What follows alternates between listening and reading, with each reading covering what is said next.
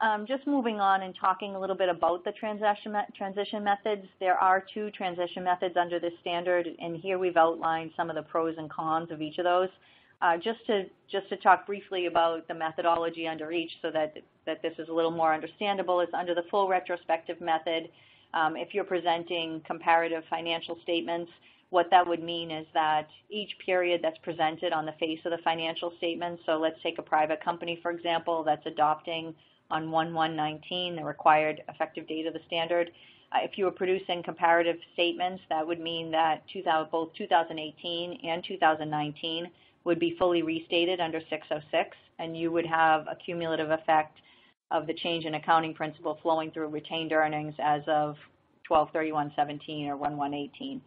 Um, and so um, from that perspective, you know, the, the statements would be fully under 606. Um, obviously, the pros under that methodology is that it does provide for the greatest comparability because the readers of the financial statements are looking at uh, those numbers, you know, fully adjusted under 606 and under a comparable basis.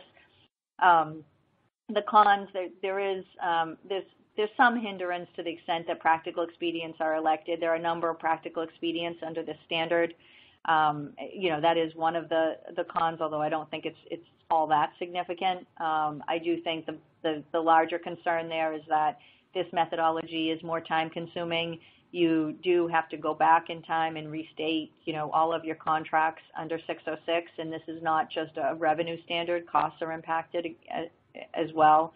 Uh, in a lot of clients that go through this, there are a number of different IT systems that might have been used. Information may have been aggregated in different ways in prior periods. So it can definitely be more time consuming and more involved uh, recognizing uh, or adopting under this full retrospective approach.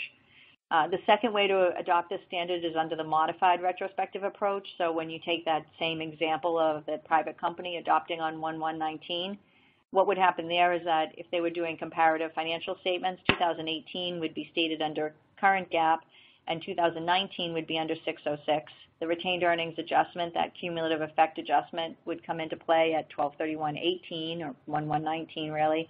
And um, the, there are, the, however, disclosure requirements which require the company in their disclosures to disclose what um, what the revenue recognition and cost methodology and so forth would have been under legacy GAAP in the year of adoption.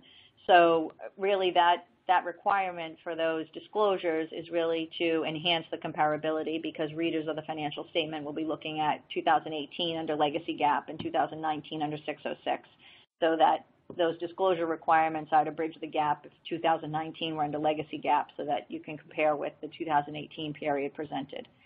Um, this is generally viewed as being less time consuming, obviously, because you don't have to go back and look at a number of in-process contracts or contracts that relate only to prior periods and so forth uh, that were not open on the date of adoption.